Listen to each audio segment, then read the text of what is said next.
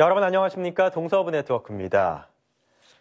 최강 한파가 계속되면서 농민들은 그 어느 때보다 힘겨운 겨울을 보내고 있습니다. 눈덩이처럼 불어난 난방비의 냉해 피해까지 농가의 근심이 커지고 있습니다. 보도에 이상환 기자입니다.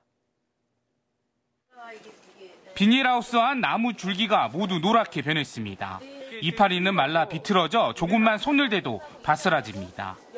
영하 10도를 밑도는 한파가 연일 계속되면서 아열대 식물인 백향과 나무가 얼어 죽었습니다. 비닐하우스에 덮개를 씌우고 나무에 이불까지 덮어줬지만 3,000제곱미터가 넘는 비닐하우스가 냉해를 입었습니다. 단 한 번도 이렇게 죽어, 죽어서 이렇게 피해를 본 적이 없었거든요. 근데 올해 처음으로 이렇게 냉해 때문에 이렇게 많은 피해를 봤는데 죽어버리고 그러니까 마음적으로 너무 아파요. 화해 농가도 추위와 사투를 벌이고 있습니다.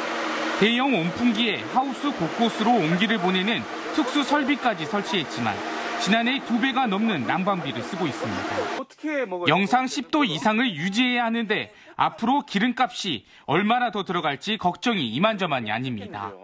난방기하고 밖에 보온덮개까지 설치를 했거든요.